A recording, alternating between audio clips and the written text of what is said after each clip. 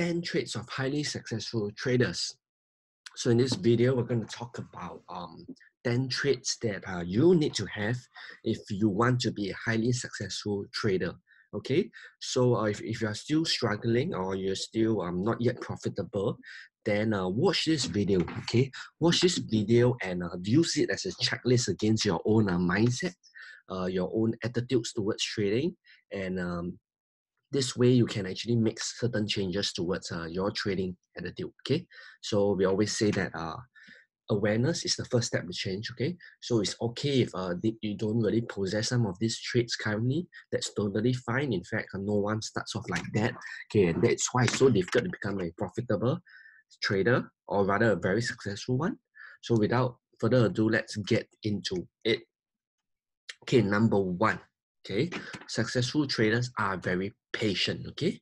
So they are able to sit tight and do nothing and hold on to winning trades okay? And they are also willing to uh, not really willing but they are super impatient when it comes to losing trades. That means that they are they, they want to cut the trade if it's not working okay? So maybe some questions to ask yourself would be uh, how patient are you uh, when it comes to waiting for a trade okay? Um, do you have to trade every week? Do you have to trade every day okay? Um, if you have to trade every day like it's an addiction to you then probably you're not really very patient okay? And uh, probably that is also a sign that uh, you are trading for action right? You're trading for the adrenaline. You're not trading because uh, there is a legit opportunity in the market okay? So ask yourself how patient are you?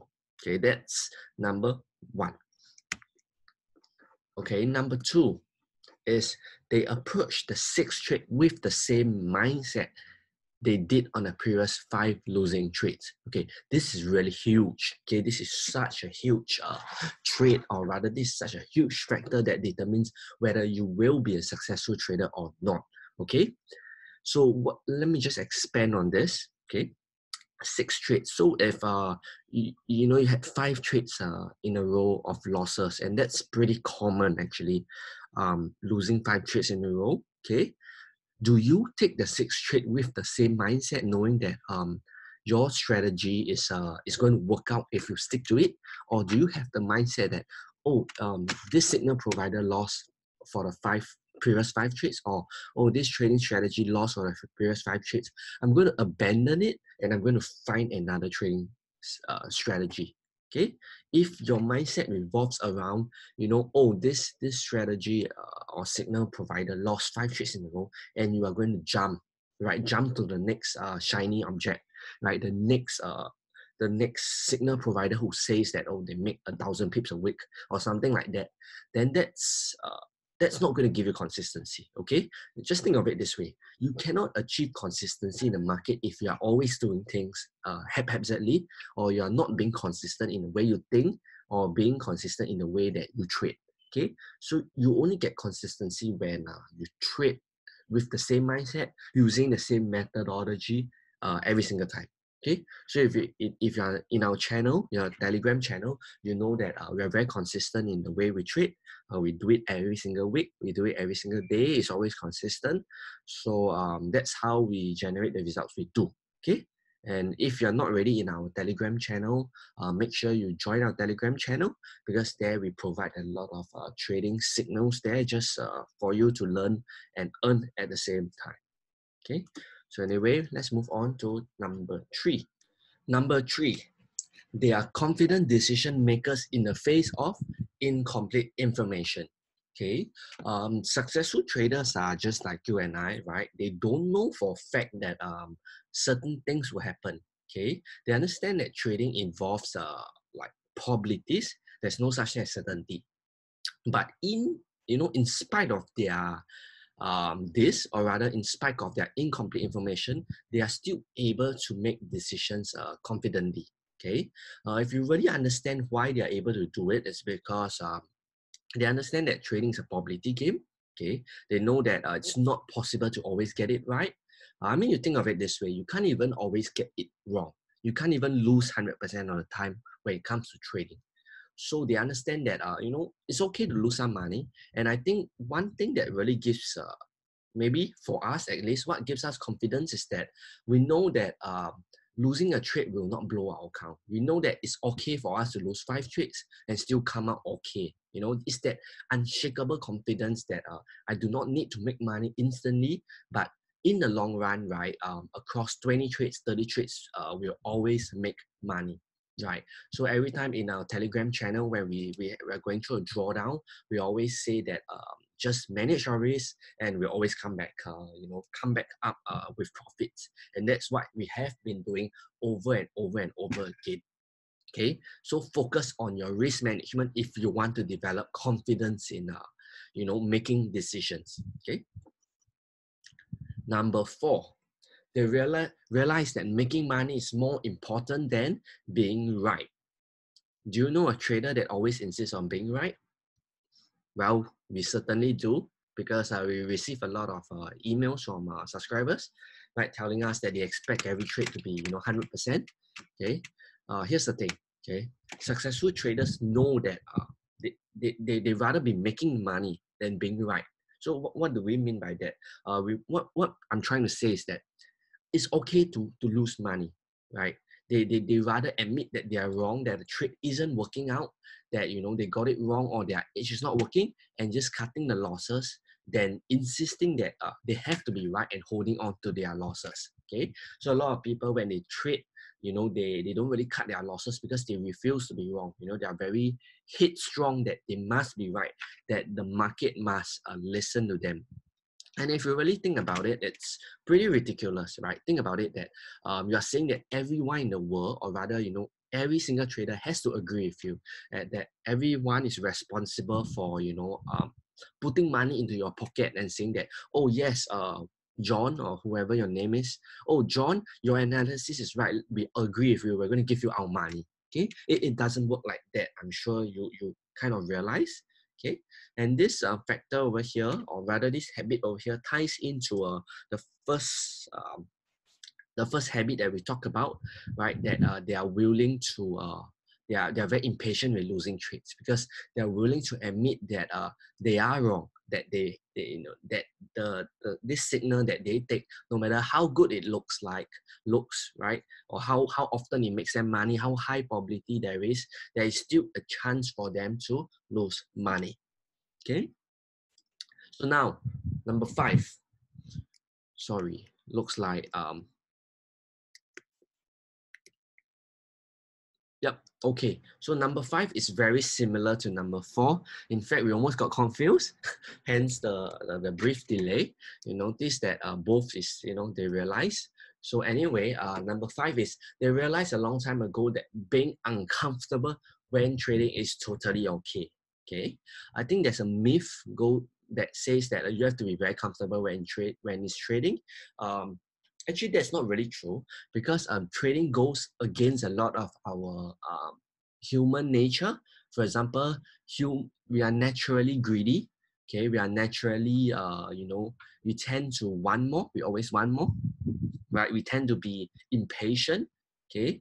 So successful traders realized long ago that just because they are uncomfortable doesn't mean that uh, they're doing something wrong okay? Sometimes uh, for example your trade is doing very well you are up um, 100 pips, but your trading plan says that, okay, I uh, the for this particular trade, the take profit is uh, 200 pips.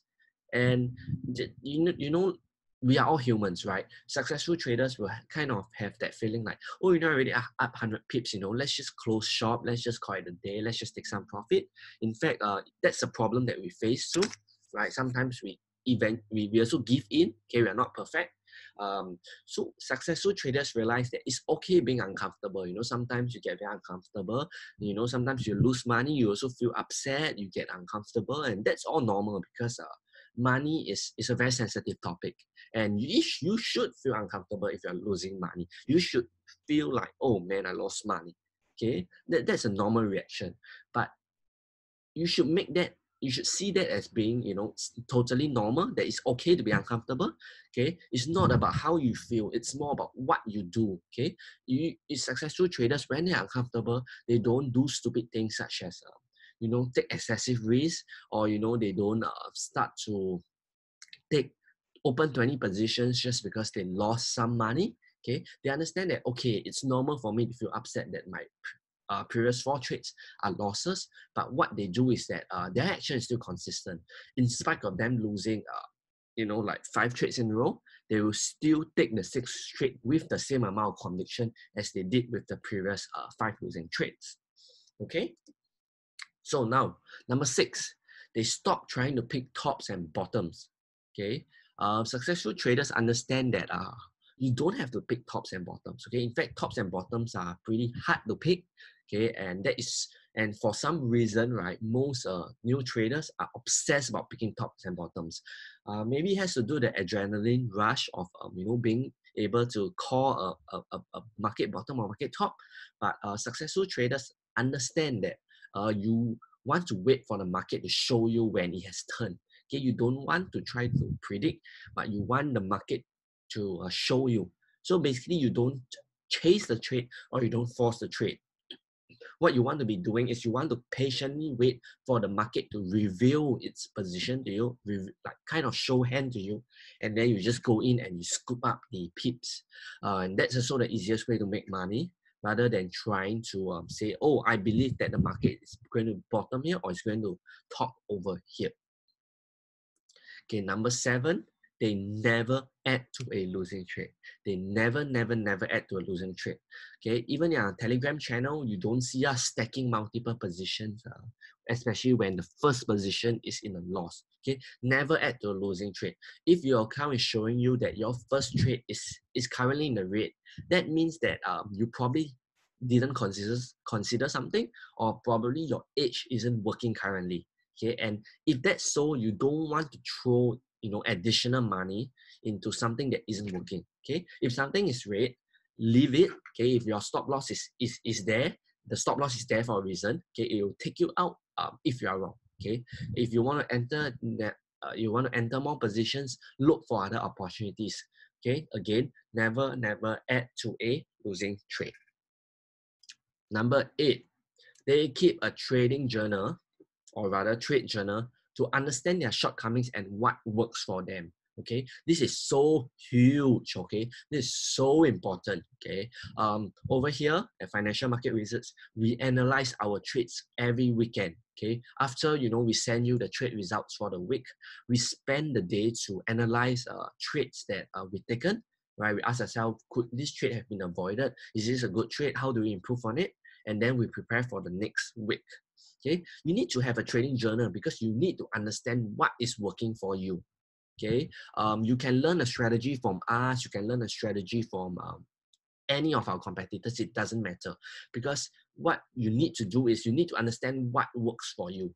Just because something works for us doesn't mean that it will work for you okay? Let, let, let me just explain it a bit further okay? If um we are swing trader and your trading personality is you kind you are kind of like a scalper then you're going to have uh, issues or you know you're going to face a lot of issues with executing our trades because uh, you kind of just want to go in for like 10 pips 15 pips and you want to be in and out fast right? And if let's say our trades take at least two three days to, to hit the take profit you're going to have problems sticking to our plan okay? So always keep a trade journal so that you can understand what works for you okay? It also help you to find you know like um, ways to tweak your strategy. For example um, um, you realize that oh on Wednesdays are more profitable. Then of course you want to be more aggressive trading on Wednesdays okay? In fact uh, we always talk about whipsaw Wednesday okay? If you are in our telegram channel you know that we always talk about the concept of whipsaw Wednesday. And this concept was developed after we, you know have our trading journal. We found that um look it seems like every Wednesday initially you will be in a red and after the red you'll be in a big profit. So we ask ourselves why is that so right? So our trading journal gave us insights into how the market moves. Okay, so you want to be keeping a trading journal. Okay, if you are not too sure how to keep a trading journal, right? Just get started first, right? Just get started. The, the hardest part is always getting started. Get started first, watch some videos, put open up the Excel spreadsheet, um, put in the details, for example, the currency pair, the date you traded, the the entry, the results. Okay, just get started. You can always get better later. But one thing that you want to be doing is that you want to get started um, and make this a, important habit. Okay, this is one of the habits that um, will make or break you. Okay, I mean, it's, I mean that's serious. Okay, when we did start doing this diligently, our trading results started to, you know, just just blue. You know, it's just wow. Okay, because we understood what was working and what's not working. So make sure you do this, and that's also why we spend so long uh, in this video talking about um, just you know this this one important thing that you should be doing. Okay, number nine, they realize the ma- market, sorry, not the money, the market will always be open tomorrow and there will be ample trading opportunities. And that is why successful traders have no issues waiting, right? They are patient. They say that, oh, the market is not moving, no big deal. There's always another day to trade. So maybe ask yourself, are you always very aggressive towards trading? Do you always want to trade, right? How patient are you? Okay, this is back to uh, what we shared earlier. How patient are you when it comes to trading? What's your perspective towards trading opportunities? Do you think that there are a thousand and one opportunities that you can profit on? Or do you think that there's only one trading opportunity? Okay, if you think that there's only one trading opportunity, then it's more likely that uh, you are going to be chasing after a trade, okay, and you're always going to be very impatient. Okay, and now the final point, okay, before successful traders exit any trade, they know exactly where they will exit and how much they will lose if they are wrong. Okay, this is so very important. Having an exit plan, knowing how much to risk and how much they will lose if they are wrong. Okay, if you truly believe that uh, you cannot predict the market and that trading is all about probabilities, then it makes sense to have a exit plan. Okay, more than that, it also makes sense to know how much you're going to lose. You you for example if let's say you go buy a car you you want to know the price of the car right? You won't just say oh uh, salesman charge me anything you want. I just want a car. Just charge me as much as you want. And then you just give him your credit card. No it doesn't work like that right? You go to a you know you buy a car and you ask oh what's the price of this? So same thing when it comes to trading. You need to ask yourself how much will this trade cost me? How many pips in loss? Right? So for example this trade is going to cost me 30 pips in losses um, if I'm wrong. So how much am I willing to risk? Okay, I'm willing to risk, let's say $300. So I should be buying a position size of about one standard lot, which is 100,000, right? You need to know this kind of, um, you need to know when you're going to exit and how much you're going to lose, okay?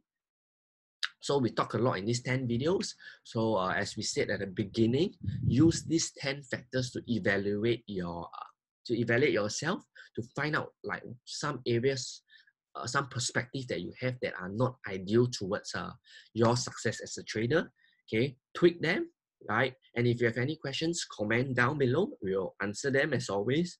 So yep if you're new to our channel and you've gotten value of our video definitely hit the subscribe button. Turn on the no notification button so that you receive updates about our video and we'll help you to um, help you reduce your learning curve to become a successful trader. Okay, that's it for this video. We'll see you in the next video.